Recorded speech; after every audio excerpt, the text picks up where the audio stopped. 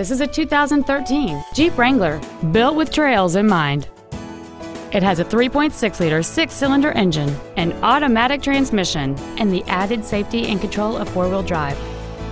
Its top features and packages include Hill Start Assist and traction control and stability control systems. The following features are also included a low tire pressure indicator, air conditioning, cruise control, front and rear floor mats, front airbags, rear seat child-proof door locks, a folding rear seat, a full-length floor console, running boards.